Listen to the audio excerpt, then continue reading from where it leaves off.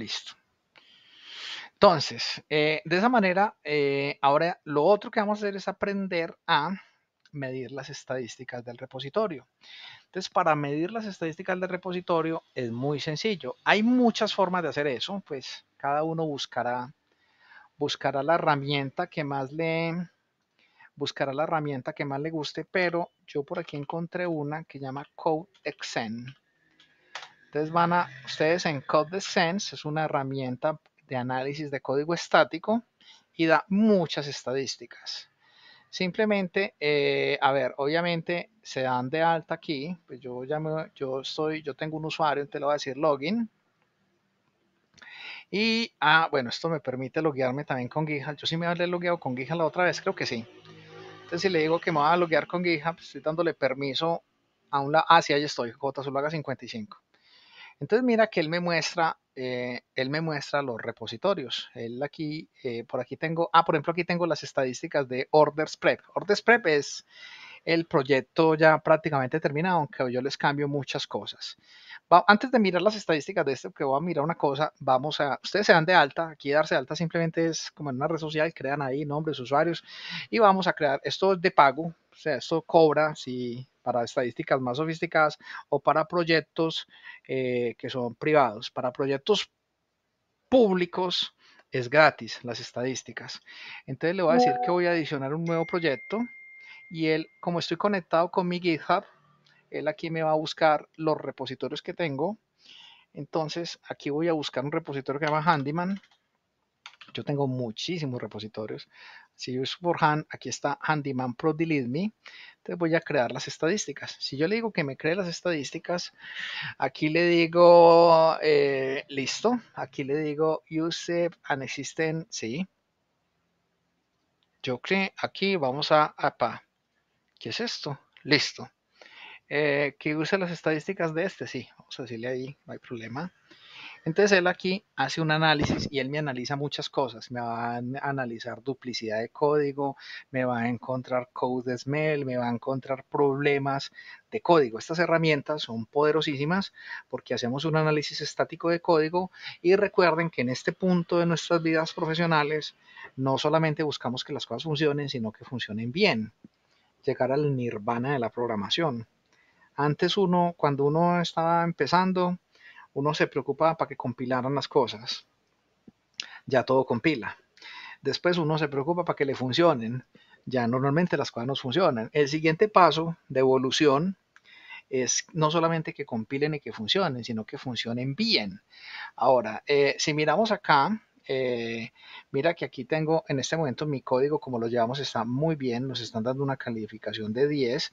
Significa que tenemos muy buen tenemos que muy buen, eh, tenemos calificación perfecta. Hasta el momento nuestro código no tiene malas prácticas.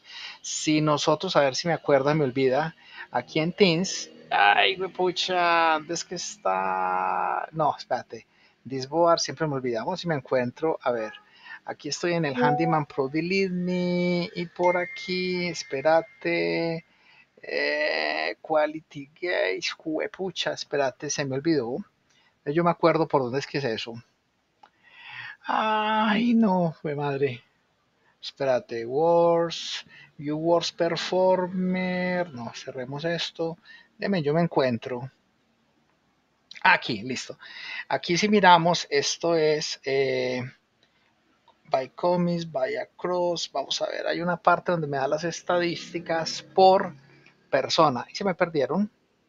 Team Dynamics individuals. Estos son el proyecto. Ay, caramba. ¿Dónde? Ah, bueno, casi que no. Aquí, Autor Statics. Esta es. Listo. Entonces, si observáis, aquí está.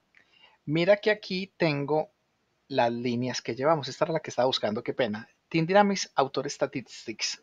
Entonces, mira que aquí me figuran los dos autores ¿Por qué? Uno, es, uno lo tengo como este que dice Juan Zuluaga, debe ser el usuario Zulu55, y este otro que dice Juan Carlos Zuluaga es el usuario Zulu88. Entonces, todo lo que ustedes hagan en el repositorio queda. Aquí, ¿qué me está diciendo? Que yo tengo este usuario, como este fue el que creó casi todo, este tiene, este tiene 11 archivos, pero si miramos, el, este usuario ha hecho 5 commits y este usuario ha hecho un commit. Si miramos las líneas que este usuario ha agregado, este usuario ha agregado 510 líneas y borrado 21. O sea que en total tiene 485 líneas, mientras que este otro usuario tiene 398 líneas. Ahora, esto es normal, ahí hay una participación activa de los dos repositorios. En este momento el proyecto tiene en total, tiene ahí Songo Sorongo, hemos metido casi, son como 800 líneas.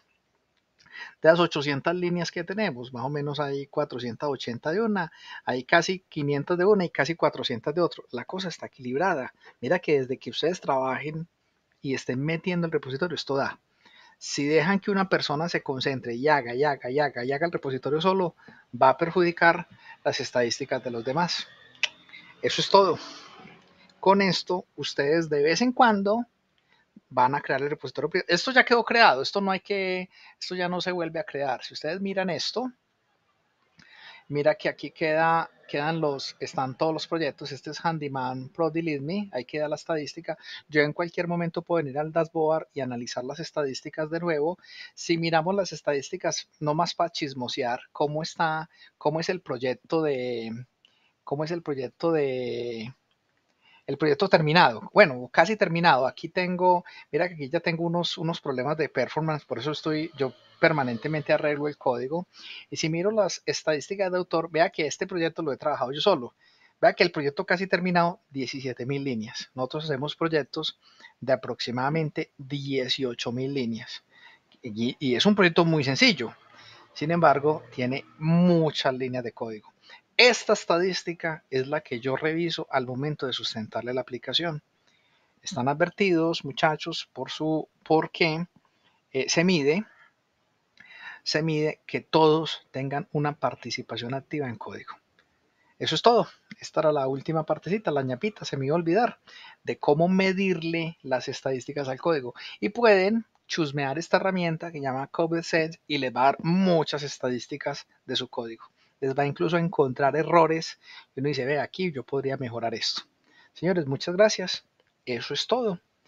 Eh, con eso finalizamos el video de hoy y también eh, finalizamos la clase.